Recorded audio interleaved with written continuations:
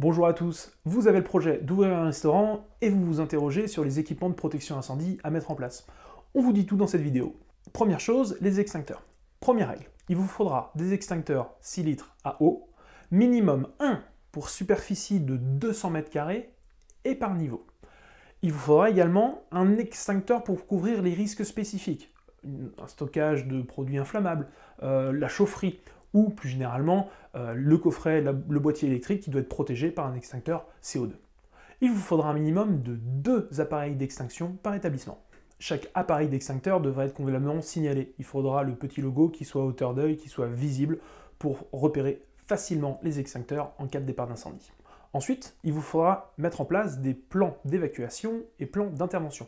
Les plans d'évacuation, bah, c'est pour guider les gens vers la sortie et leur montrer les positionnements des, équipements de sécurité, comme les extincteurs. Et le plan d'intervention, lui, il est à l'entrée du bâtiment. C'est un plan qui doit être disponible pour les services de secours, les pompiers, en cas d'intervention. Troisième point, l'alarme. Il faudra installer une alarme bah, pour alerter tous les occupants en cas de départ de feu.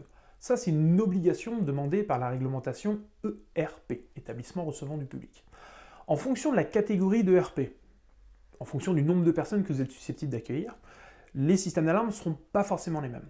Pour les plus petits établissements, les établissements de cinquième catégorie, il faudra mettre juste un moyen d'alerte. Dans ces cas-là, on vous conseille de mettre en place une alarme de type 4, qui est très facile à installer, qui fonctionne à pile, et qui vous permettra de diffuser le message d'alerte dans l'ensemble de votre établissement. Dernier équipement qu'on vous préconise de mettre en place, la couverture anti-feu. Celle-là va vous permettre d'éteindre les feux d'huile notamment, et éventuellement euh, d'enrouler une victime où il y aurait un feu qui serait parti euh, sur ses vêtements.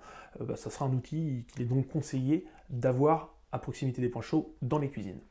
Pour terminer, il faudra que vous ayez un registre de sécurité qui trace les opérations de maintenance et de vérification de l'ensemble de ces équipements.